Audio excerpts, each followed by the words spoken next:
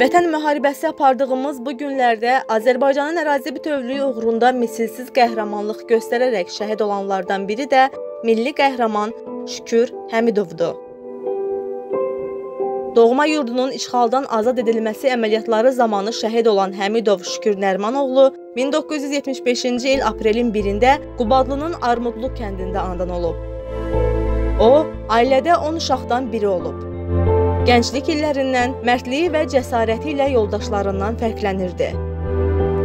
Şükür Həmidov 1993-cü ildə Bakı Ali Ümumqoşun Komandirləri Məktəbinə daxil olub. Hələ təhsilini hərbi liseydə davam etdirən zaman könüllü olaraq döyüşlərə qatılmaq arzusunda olduğunu bildirib.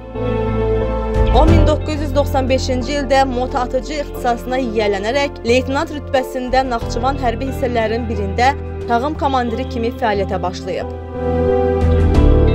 Orada mayor hərbi rütbəsinə qədər yüksəlib. Daha sonra böyük komandiri, tabor komandirinin maddi texniki təminat üzrə müavini vəzifəsində xidmət edib.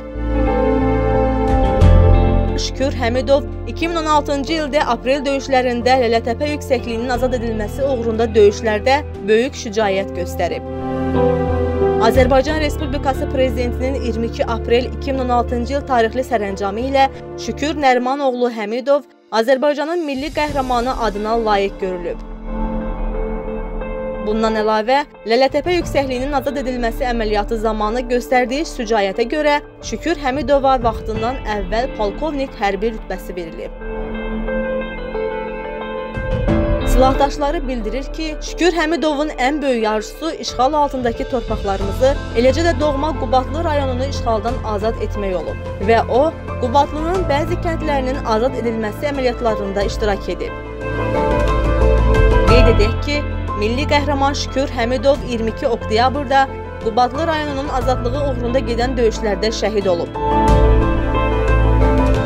Prezident İlham Əliyev onun adının doğulduğu və azadlığı uğrunda şəhid olduğu Qubadlı rayonunda əbədiləşdiriləcəyini bildirib. Allah şəhidimizə rəhmət eləsin.